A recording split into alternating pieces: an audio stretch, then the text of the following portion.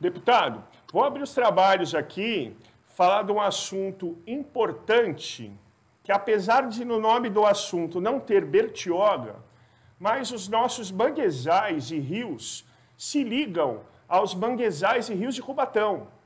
E existe um projeto chamado Cava Subterrânea, que basicamente é uma ideia de fazer um lixão enterrado embaixo do, do estuário, não é isso, deputado? Cujo deputado é o presidente da CPI da Cava Subterrânea. Para você que não sabia, e para isso também o programa tem esse sentido, né? Uh, existe uma CPI. Reforço a nossa proximidade com o assunto, o incêndio que teve na entrada de Santos recentemente, os pesquisadores, meus colegas de universidade da Santa Cecília, eles acharam nos caranguejos e ciris de Bertioga resíduos do incêndio na entrada de Santos. Ou seja, o nosso meio ambiente aqui hum. está todo interligado. Divida um pouquinho, por favor, da CPI da Cava com todos nós aqui, em especial o público ambientalista de Bertioga, deputado. Legal, é... quero te agradecer pela questão. Né? Ali é um grande crime que, que foi feito. Né? É, ao longo do tempo, é, resíduos infectados, resíduos é, que deveriam ter tido um tratamento, é, uma destinação diferenciada, elas, por não terem o controle do Estado e de órgãos ambientais, o que foi feito? Eles foram acomodados né, no canal do Porto de Santos. Então, ao longo do tempo, esses resíduos foram sendo jogados ali é, indevidamente eles foram se assentando e ali ficaram é, aí vem a necessidade de se aumentar o calado é, é, do Porto de Santos e, portanto, aprofundar né, ali. E aí o que lembraram? Que ali eles tinham indevidamente jogado algo perigoso, algo contaminado, e que ao remover isso você poderia trazer um grande prejuízo. Como é que a, a legislação no mundo tratam esse tipo de resíduo. Como é um resíduo contaminado, ele precisa ir para um aterro industrial. É essa a forma ambientalmente correta. Porém, qual é a forma mais barata para se tratar esse resíduo?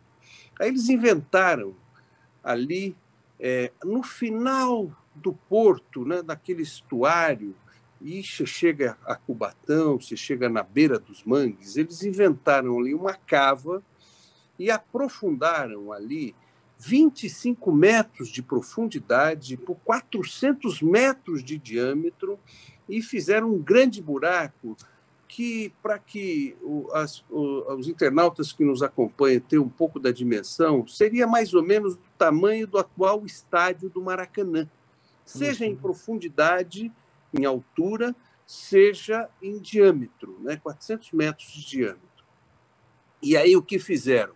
Tiraram esse resíduo contaminado e começaram a levar para esse lugar.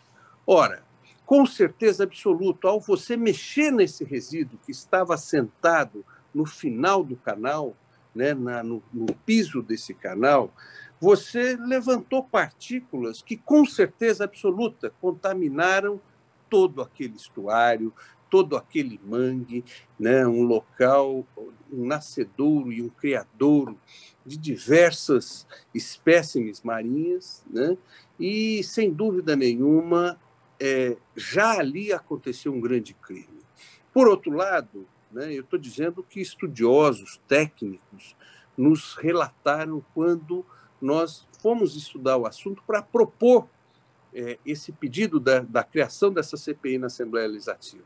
E, por outro lado, que começaram a pegar esse lixo e remover a esse outro local, né, que é o fundo do mar, está ali, né, e jogando ali, enterrando, ou seja, só na, no mexer desse resíduo, com certeza contaminou tudo que tem ali, aquela região tem, nós temos a, a Vila dos Pescadores, né, colônias de pescadores, onde nós temos uma grande pesca artesanal.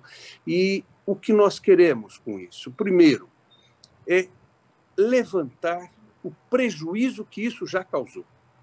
Segundo, nós queremos entender por que os órgãos é, ambientais permitiram. Né? Porque, sem dúvida nenhuma, ali tem um grande crime cometido, né? isso pode ter prejudicado e contaminado e trazido um, grande estrago, seja a Bertioga, Cubatão, a Santos, a São Vicente, a todo o nosso litoral, né? por essas inconsequências. Quem está por trás disso? A querida Vale do Rio Doce, a mesma Vale de Brumadinho e de tantos prejuízos que tem dado, né? que tem demonstrado o seu grande interesse no lucro e dane-se o meio ambiente. E até hoje, só para que se tenha uma ideia, não, sem querer misturar alhos com bugalhos, aquelas vítimas de Brumadinho tal, até hoje não foram é, é, sequer indenizadas. Né?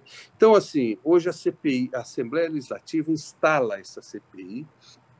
Eu já pedi a participação, entrei em contato com cada um dos nossos deputados da Baixada Santista que possam entrar também, né, para que a gente possa fazer uma grande fiscalização. E quem sabe que a gente possa, a partir daí, produzir uma legislação que proíba em definitivo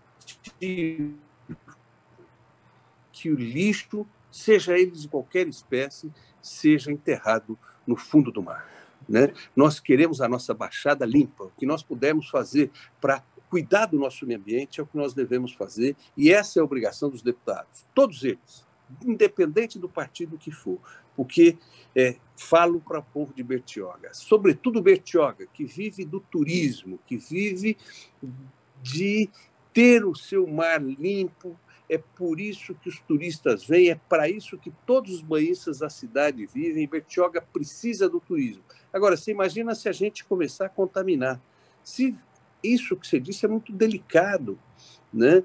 Aquelas, os caranguejos hoje estão vindo com resquício daquele incêndio, né? É, estão contaminados. Precisamos de fazer uma análise em toda a nossa flora e fauna marítima para ver em que condições está, o que que esse lixão que fizeram nessa cava está provocando, o que que os incêndios do porto estão sendo estão provocando, né? E quanto mais nós temos que trabalhar a nível de legislação para que a gente pare com esse tipo de coisa. Né? Bertioga tem sido e a Baixada tem sido muito violentada, sobretudo na área ambiental. Tentaram agora há pouco tempo e nós tivemos uma ação direta para brecar aquela termoelétrica que queriam fazer em Piruíbe. Façam termoelétrica em qualquer lugar e leve para a nossa baixada, através de torres e fios, a energia. Nós não precisamos fazer aí, porque nós vamos botar, nós não podemos transformar Bertioga e nenhuma das cidades, Peruíbe, nenhuma das cidades baixadas, Santista, com a mesma história que contaram nos há tempo atrás sobre Cubatão. Não ia trazer nenhum problema, ia gerar uma série de empregos, e olha o que transformaram o Cubatão. E hoje, olha o desemprego que nós temos em Cubatão. Aliás, então, assim, Peru, essa é uma preocupação tá forte sempre... em relação a essa cava, como também somos contra a usina é, de, de, incineração de lixo na cidade de Santos, que querem é, é, é, é tentar licenciar, como somos radicalmente contra a transposição que querem fazer no Itapainhaú, esse grande rio de Bertioga, né? e dizer, como vinha dizendo o nobre vereador, governador, faça a nossa transposição da, da, da, da, da, da rodovia, da rodovia para que nenhuma morte mais seja ceifada, mas tire a mão do Itapainhaú. Né? Não queremos nenhum lixão, não queremos nada. Se quiser trazer progresso para Bertioga, nós queremos. O povo de Bertioga precisa de melhor, de melhor saúde, mais educação, mais investimento na manutenção e cuidado com o nosso meio ambiente. Né? Então, essa cava, é, essa CPI da cava, a gente propôs em 2019 e aí tentaram postergar e tal, mas não deu tempo, ela foi criada e, se Deus quiser, nós vamos nos aprofundar, né? E, e que nós possamos, ao final, não só apurar eventuais responsabilidades, mas proibamos, né? De qualquer órgão, seja ele Estado, município e iniciativa privada, de usar o fundo do nosso mar para depositar qualquer tipo de lixo. Deputado estadual Luiz Fernando, do Partido dos Trabalhadores. Vereador Macário, eu tenho uma questão para o senhor. Deputado, é um prazer falar com você. É, você foi muito feliz, eu concordo plenamente com tudo que você falou. Inclusive, é, viu, Ale, para deixar aqui registrado, o meu primeiro programa de campanha eu fiz na beira do Itapanhaú, o primeiro dessa última eleição. E falei, falei, temos que olhar com muito carinho para o nosso rio, porque se a gente polui o rio, ele deságua no mar. Se a gente polir nossas praias, acabou o Bertioga. O turista vem por causa dessa beleza natural que Deus nos deixou aí, ó. Praias lindas, praias limpas, maravilhosa, propícia para o banho, sempre bandeira verde. Nós poluirmos essas praias, que é que você vem fazer em Bertioga? Acabou Bertioga. Verdade. Mas estamos é, aí para fazer um trabalho sim, um trabalho sério, assim como o deputado está fazendo é, no Estado, nós queremos fazer aqui em Bertioga. E conte conosco, o que puder ajudar, principalmente.